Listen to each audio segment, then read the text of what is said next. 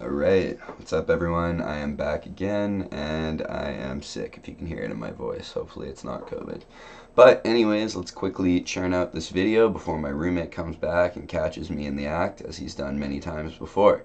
Um, today's video will be about Spanner, which um, is an interesting concept. I don't know how overly relevant it'll be for systems design interviews, but I think it would be actually a really cool thing to bring up, especially as it pertains to you know clock synchronization and NewSQL in general, and how you can actually use something like this in perhaps a large enterprise application. Okay, so Spanner, what is it? Well, basically, Spanner is a database created in Google more or less in the last decade, so probably I think 2012 is when the paper came out, that falls under the category of NewSQL. So this is basically um, new architectures to traditional relational databases that try and make improvements that make them kind of more viable in a super scaled out environment. Because as we know, I've talked about SQL has many pitfalls, and even though it's the right choice a lot of the time, at super large scale it tends to fall apart because of all of these relational constraints and locking and things along those lines. So Spanner mainly relies on actually using synchronized clocks. So the first thing you should, you know, think about when you hear that is, well, clocks are never synchronized. This is distributed systems. Well, actually, they kind of come up with an interesting approach to trying to fix that. And once they do actually fix that, they can kind of go and make optimizations from there in order to make a quickly performing database. Um, there are other companies known as, I think, like Yugabyte DB and Cockroach DB that kind of use similar ideas but I think don't have true time to the full extent uh, that uh, Spanner does, and maybe have you kind of synchronize your own clocks, and so that makes them a little bit less reliable.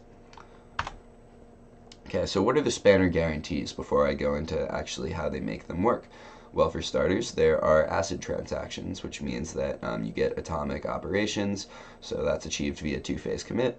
You also get serializability, and this is basically achieved by two-phase locking. So if you recall, that's kind of when you have shared and exclusive locks on every row.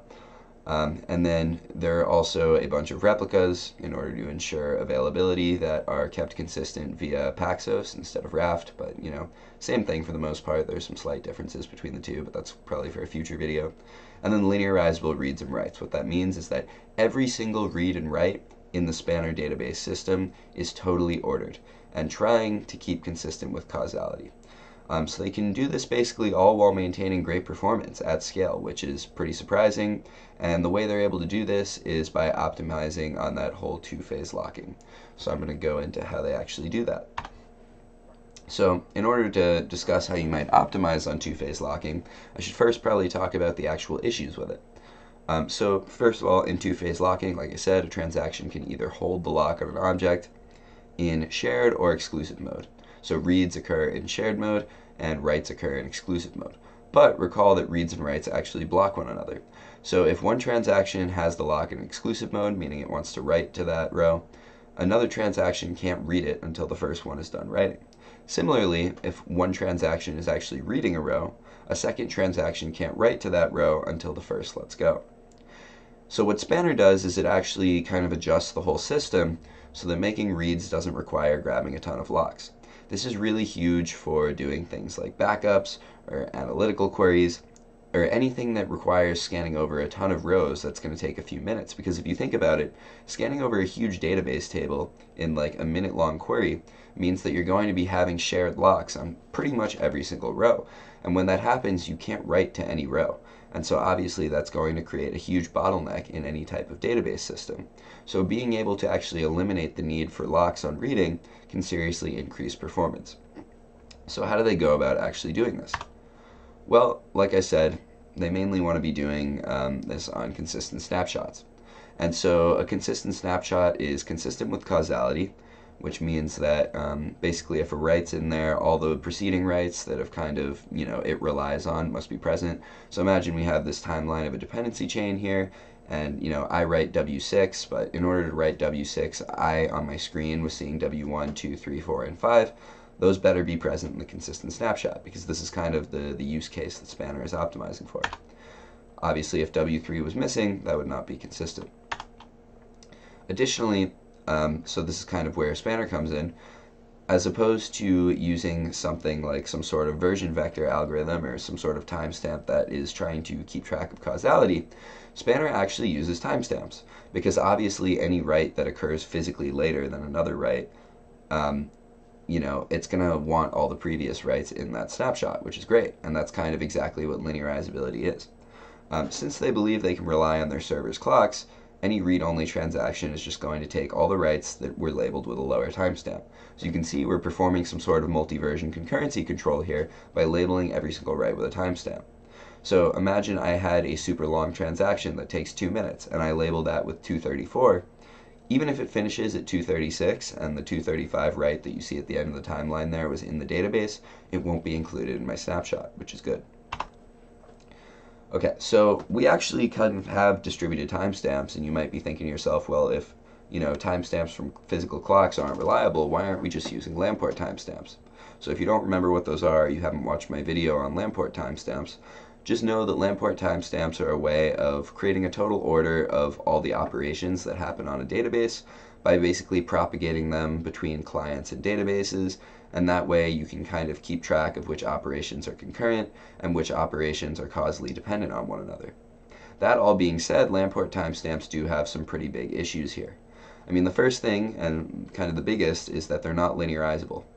Um, you can have a bunch of writes that are concurrent according to Lamport timestamps, but still didn't happen at the same time.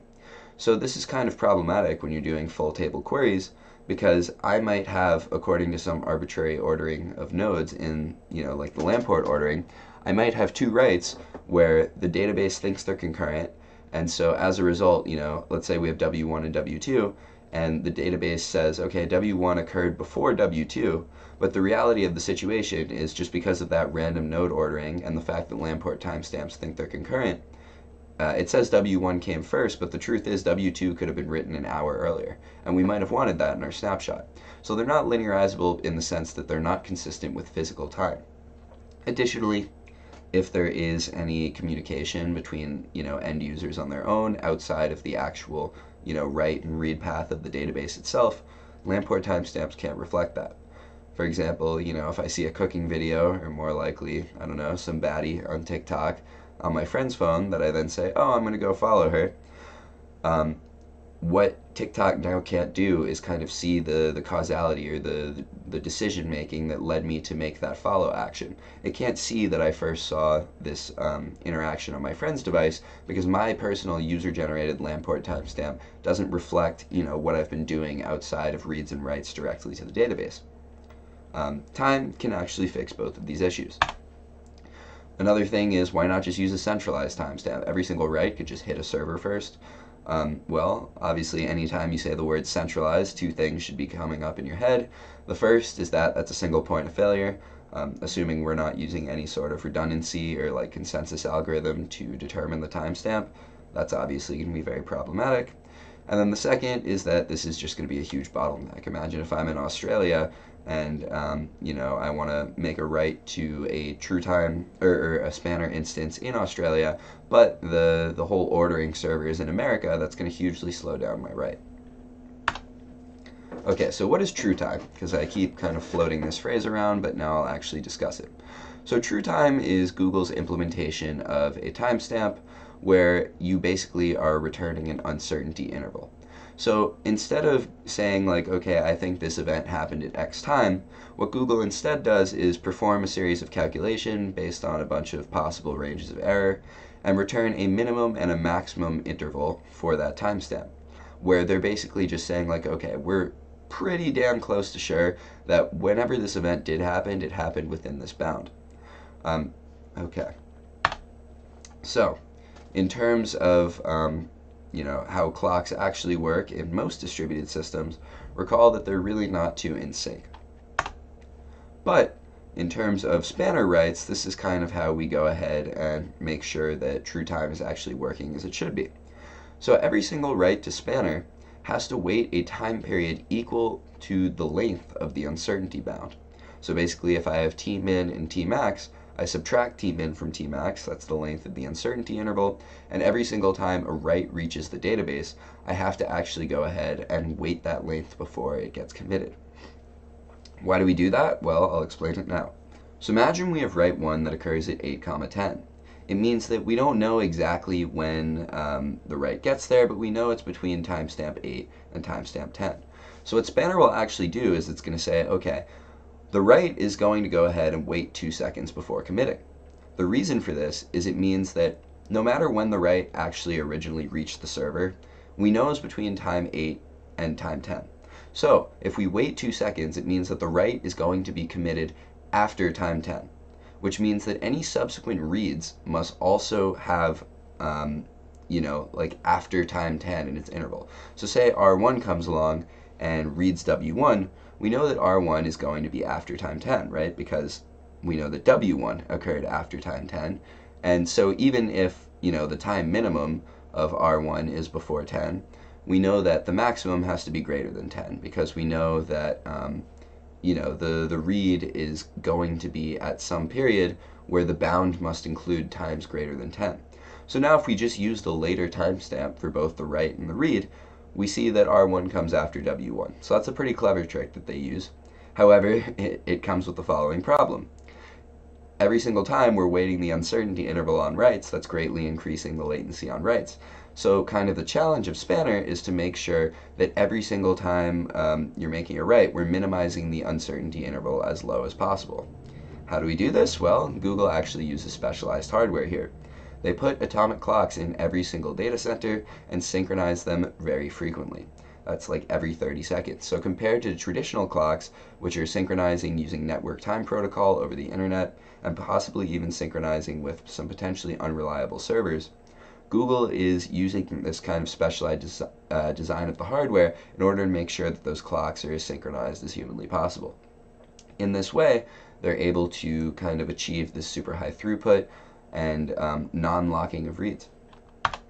Okay, so in conclusion, although it's probably not that practical that you might talk about one of these in an actual systems design interview, if the, the concept of, you know, distributed clocks comes up, it's very interesting to mention how you can use specialized hardware to kind of get a lower uncertainty bound on reads and writes. And as a result of that, you can do some really interesting things, even creating, you know, like a super scalable SQL system. Um, I think this is a pretty interesting topic, and it seems like most of the distributed systems courses tend to mention it because it's actually, I don't know, pretty revolutionary in the sense that people haven't really just, you know, tried to optimize on time like this before. But uh, yeah, I hope you guys enjoyed this video. I'm going to keep thinking of topics to talk about, and then probably within the next, I don't know, 10 or 15 videos, we'll start actually doing some practice problems.